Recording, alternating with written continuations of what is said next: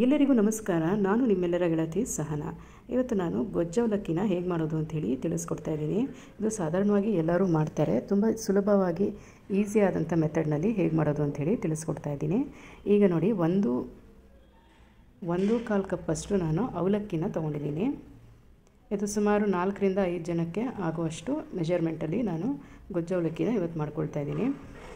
ಒಂದು ಕಪ್ಪು, ದೊಡ್ಡ ಕಪ್ಪಲ್ಲಿ ಹಾಕ್ಕೊಂಡಿದ್ದೀನಿ ಇವಾಗ ಒಂದು ಸ್ವಲ್ಪ ಒಂದು ಕಾಲು ಕಪ್ಪಷ್ಟು ಹಾಕ್ಕೊಂಡಿದ್ದೀನಿ ಇದನ್ನು ಚೆನ್ನಾಗಿ ಫಸ್ಟಿಗೆ ಜರಡಿ ಆಡಬೇಕು ಇದನ್ನು. ಕೆಳಗಡೆ ಎಲ್ಲ ಚಿಕ್ಕ ಚಿಕ್ಕದಾಗಿರೋ ಕಸಗಳು, ಮತ್ತು ತುಂಬ ಪೌಡರ್ ಆಗಿರುತ್ತಲ್ಲ, ಅದೆಲ್ಲ ಬೀಳುತ್ತೆ. ಇದಾದಮೇಲೆ ನೆಕ್ಸ್ಟ್ ಒಂದು ಸಲ ಕ್ಲೀನಾಗಿ ಮಿಕ್ಸಿ ಜಾರ್ನಲ್ಲಿ ಹಾಕ್ಕೊಂಡು ತೊಳ್ಕೊಂಡು ಬಿಡಬೇಕು. ನೋಡಿ, ಚಿಕ್ಕ ಚಿಕ್ಕದು ಕಸಗಳು ಎಲ್ಲ ಬಿದ್ದಿದೆ. ಈಗ ಇದನ್ನು ಮಿಕ್ಸಿ ಜಾರ್ನಲ್ಲಿ ಹಾಕ್ಕೊಂಡು ತರ್ತರಿಯಾಗಿ ರುಬ್ಕೊಳ್ತಾ ಇದ್ದೀನಿ. ತುಂಬ ನೈಸ್ ಮಾಡ್ಕೊಳ್ಳೋಕೆ ಹೋಗ್ಬೇಡಿ. ಸ್ವಲ್ಪ ಒಂದು ಒಂದು ಒಂದು ಅವಲಕ್ಕಿ ಕಾಳು, ಮೂರು ಪಾಲಾದರೆ ಸಾಕು. ನೋಡಿ, ಈ ಥರ ತರ್ತರಿಯಾಗಿರಬೇಕು. ಇದರಲ್ಲೂ ಮತ್ತೆ ಜರಡಿ ಆಡಿಬಿಟ್ಟು ತುಂಬ ನೈಸಾಗಿರೋ ಪೌಡರ್ನ ತೆಕ್ಕೊಳ್ಬೋದು. ನಾನು ಹಾಗೆ ಹಾಕ್ಕೊಳ್ತಾ ಇದ್ದೀನಿ. ಸ್ವಲ್ಪ ಚೆನ್ನಾಗಿರುತ್ತೆ, ಹಾಗಾಗಿ. ಈಗ ಇದನ್ನು ಒಂದು ಮೂರು ನಾಲ್ಕು ಸಲ ಕ್ಲೀನಾಗಿ ವಾಶ್ ಮಾಡ್ಕೊಳ್ತಾ ಇದ್ದೀನಿ. ತುಂಬ ಗಲೀಜಾದಂಥ ಕಸಗಳಿರುತ್ತೆ, ಹಾಗಾಗಿ.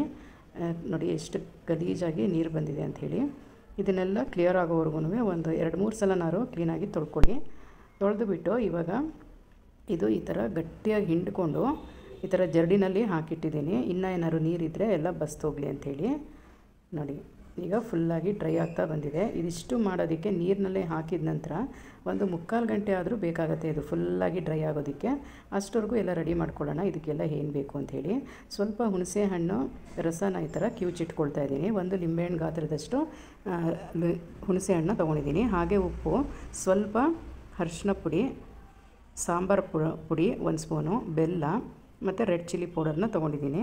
ಹಾಗೆಯೇ ಇದು ಕರಿ ಎಳ್ಳು ಕರಿ ಎಳ್ಳನ್ನು ಒಂದು ಸ್ವಲ್ಪ ಹುರ್ಕೊಳ್ಬೇಕು. ತುಂಬ ಚೆನ್ನಾಗಿ ಬರುತ್ತೆ ಟೇಸ್ಟು. ಈಗ ನೋಡಿ ಇದು ಒಂದು ಪಾತ್ರೆಯಲ್ಲಿ ಹಾಕ್ಕೊಂಡು ಇದನ್ನು ಉದ್ರುದ್ರಾಗಿ ಮಾಡಿಟ್ಕೊಳ್ತಾ ಇದ್ದೀನಿ. ನೋಡಿ ಎಷ್ಟು ಡ್ರೈ ಆಗಿ ಚೆನ್ನಾಗಾಗಿದೆ ಅಂತ ಹೇಳಿ. ಒಂದು ಸ್ವಲ್ಪ ಕೂಡ ಕಸ ಗಿಸ ಏನೂ ಇಲ್ಲ ಇದರಲ್ಲಿ. ಸೊ ಈ ಥರ ನೀಟಾಗಿ ಫಸ್ಟಾಗಿ ಉದ್ರುದ್ರಾಗಿ ಮಾಡ್ಕೊಂಡ್ಬಿಡಿ. ನಾನು ಇದೆಲ್ಲ ರೆಡಿ ಮಾಡ್ಕೊಳ್ಳೋವರೆಗೂ ಸರಿ ಹೋಗುತ್ತೆ. ಈಗ ಫಸ್ಟಿಗೆ ನಾನು ಫ್ರೈ ಪ್ಯಾನ್ನ ಬಿಸಿ ಮಾಡಿ ಸ್ವಲ್ಪ ಎಳ್ಳನ್ನು ಹುರ್ಕೊಳ್ತಾ ಇದ್ದೀನಿ. ಒಂದೂವರೆ ಸ್ಪೂನಷ್ಟು ಎಳ್ಳನ್ನು ಹುರ್ಕೊಳ್ತಾ ಇದ್ದೀನಿ. ದೊಡ್ಡ ಚಮಚದಲ್ಲ ಚಿಕ್ಕ ಚಮಚದಲ್ಲಿ ಮೆಷರ್ಮೆಂಟ್ನ ತೊಗೊಂಡಿದ್ದೀನಿ. ಈ ಥರ ಹುರ್ಕೊಂಡು ಹಾಕೋರೋದ್ರಿಂದ ಪುಳಿಯೋಗರೆ ತುಂಬ ರುಚಿಯಾಗಿ ಬರುತ್ತೆ. ಗೊಜ್ಜವಲಕ್ಕಿ, ಪುಳಿಯೋ, ಗೊಜ್ಜು, ಪುಳಿಯೋಗರೆ ಏನಾದ್ರು ಅನ್ಬೋದು. ಈಗ ಅದೇ ಫ್ರೈ ಪ್ಯಾನ್ಗೆ ಸ್ವಲ್ಪ ಎಣ್ಣೆ ಹಾಕ್ಕೊಂಡಿದ್ದೀನಿ ಎಣ್ಣೆ ಕಾದ ನಂತರ ಸ್ವಲ್ಪ ಅರಿಶಿನ ಹಾಕ್ಕೊಳ್ತಾ ಇದ್ದೀನಿ. ಅರಿಶಿನ ಹಾಕ್ಕೊಂಡ್ರೆ ಪುಳಿಯೋಗರೆಗೆ ಕಲರ್ ಚೆನ್ನಾಗಿ ಬರುತ್ತೆ. ಹಾಗೆಯೇ ಇದೇ ನೀ ಎಣ್ಣೆಗೆ ಹುಣಸೆ ಹಣ್ಣಿನ ರಸನೂ ಕೂಡ ಹಾಕ್ಕೊಂಡು ಚೆನ್ನಾಗಿ ಕುದಿಸ್ಕೊಳ್ತಾ ಇದ್ದೀನಿ. ಅದಕ್ಕೇ ಸ್ವಲ್ಪ ಬೆಲ್ಲ ಹಾಕ್ಕೊಂಡಿದ್ದೀನಿ ಇದು ಉಪ್ಪು, ಹುಳಿ, ಖಾರ ಆಗಿಬಿಟ್ಟು ತುಂಬ ಚೆನ್ನಾಗಿರುತ್ತೆ. ಈಗ ರೆಡ್ ಚಿಲ್ಲಿ ಪೌಡರ್ನು ಹಾಕ್ಕೊಂಡಿದ್ದೀನಿ ಸಾಂಬಾರು ಪೌಡರ್ನು ಹಾಕ್ಕೊಂಡಿದ್ದೀನಿ ಸಾಂಬಾರು ಪೌಡರ್ ಒಂದು ಸ್ಪೂನ್ ತೊಗೊಳ್ಳಿ. ರೆಡ್ ಚಿಲ್ಲಿ ಪೌಡರು ಅರ್ಧ ಸ್ಪೂನ್ ತೊಗೊಳ್ಳಿ, ಸಾಕಾಗುತ್ತೆ. ಬೆಲ್ಲ ಒಂದು ಸ್ಪೂನ್ ತೊಗೊಂಡಿದ್ದೀನಿ. ರುಚಿಗೆ ತಕ್ಕಷ್ಟು ಉಪ್ಪು. ಒಂದು ಕಾಲು ಸ್ಪೂನಷ್ಟು ಉಪ್ಪು ಹಾಕ್ಕೊಂಡ್ರೆ ಸಾಕಾಗುತ್ತೆ. ಈಗ ಇದನ್ನೆಲ್ಲ ಒಂದು ಕುದಿ ಬರಲಿ. ಚೆನ್ನಾಗಿ ಕುದಿಸ್ಕೊಳ್ಬೇಕು ಇದನ್ನು. ನೋಡಿ, ಚೆನ್ನಾಗಿ ಕುದಿ ಬರ್ತಾ ಇದೆ, ಒಳ್ಳೆ ಘಮ ಕೂಡ ಬರ್ತಾ ಇದೆ.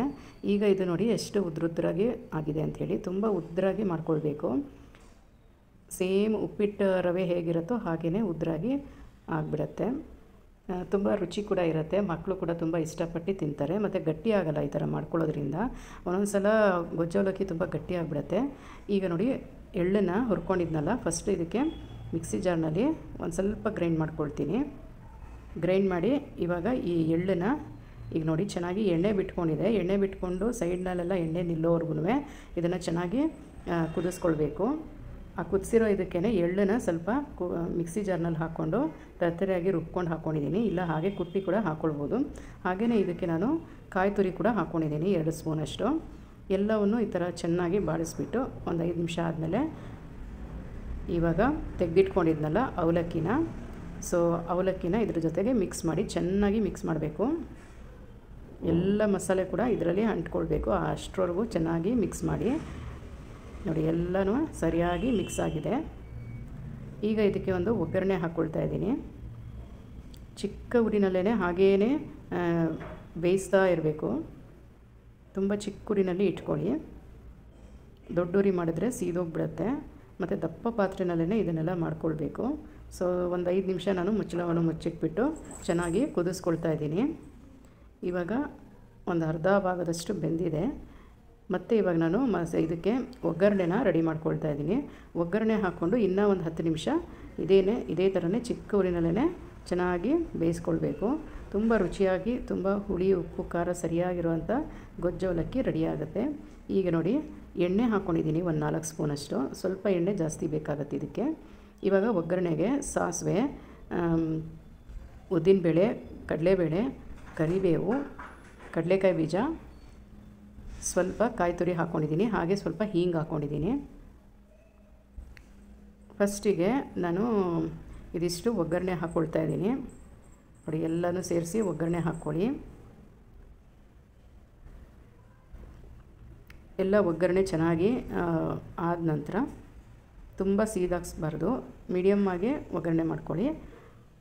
ಒಂದೆರಡು ಒಣಮೆಣಸಿನ್ಕಾಯಿ ಕೂಡ ಹಾಕ್ಕೊಂಡಿದ್ದೀನಿ ಲಾಸ್ಟಲ್ಲಿ ಹಿಂಗೆ ಹಾಕ್ಕೊಳ್ಳಿ ಹಿಂಗೆ ಹಾಕಿದ್ದು ಒಂದೆರಡು ನಿಮಿಷ ಈ ಥರ ಫ್ರೈ ಮಾಡಿಕೊಂಡು ನಂತರ ಸ್ಟವ್ ಆಫ್ ಮಾಡಿ ಇದನ್ನೂ ಆ ಪುಳಿಯೋಗರೆ ಗೊಜ್ಜಿಗೆ ಎಲ್ಲವನ್ನು ಸೇರಿಸಿ ಮಿಕ್ಸ್ ಮಾಡಬೇಕು.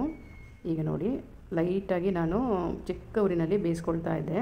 ಸೊ, ಇದು ಚೆನ್ನಾಗಿ ಬೆಂದಿದೆ. ಈಗ ಇದಕ್ಕೇ ನಾನು ಒಗ್ಗರಣೆನ ಹಾಕ್ಕೊಂಡು ಮಿಕ್ಸ್ ಮಾಡ್ಕೊಳ್ತಾ ಇದ್ದೀನಿ. ತುಂಬ ಮೆತ್ತ ಮೆತ್ತಿಗೆ ತುಂಬಾ ಚೆನ್ನಾಗಿ ಬರುತ್ತೆ. ನೀವು ಕೂಡ ಒಂದ್ಸಲ ಟ್ರೈ ಮಾಡಿ. ನಿಮಗೆ ಈ ವಿಡಿಯೋ ಇಷ್ಟವಾದಲ್ಲಿ ಲೈಕ್ ಶೇರ್ ಕಮೆಂಟ್ಸ್ ಮತ್ತು ಸಬ್ಸ್ಕ್ರೈಬ್ ಮಾಡೋದನ್ನು ಮರಿಬೇಡಿ ಗೆಳತಿಯರೇ. ನೋಡಿ, ತುಂಬ ಸ್ವೀಟು ಖಾರ, ಉಪ್ಪು, ಹುಳಿ ಎಲ್ಲ ಕರೆಕ್ಟಾಗಿ ಬಂದಿದೆ.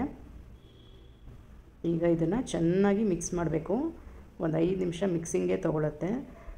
ಇವೆಲ್ಲ ಮಿಕ್ಸ್ ಮಾಡಿಬಿಟ್ಟು ಇನ್ನೂ ಒಂದು ಹತ್ತು ನಿಮಿಷ ಚಿಕ್ಕೂರಿನಲ್ಲೇ ಚೆನ್ನಾಗಿ ಬೇಯಿಸ್ಕೊಂಡ್ರೆ ರುಚಿಯಾದ ಗೊಜ್ಜು ಅವಲಕ್ಕಿ, ಅವಲಕ್ಕಿಯಿಂದ ಮಾಡಿರೋ ಅಂಥ puliyogare ರೆಡಿಯಾಗುತ್ತೆ thank you so much for watching my cooking videos ಮತ್ತು ತುಂಬ ಉದ್ರುದ್ರಾಗಿ ಬರುತ್ತೆ ನೋಡಿ. Thank you